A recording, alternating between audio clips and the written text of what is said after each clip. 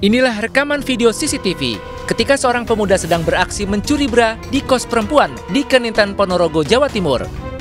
Namun aksinya ketahuan oleh warga dan pemilik kos yang curiga, kemudian mengunci pintu masuk saat pelaku berada di dalam rumah. Polisi yang datang langsung mengevakuasi dan menyelamatkan pelaku dari kemarahan warga. Warga geram dengan ulah pelaku.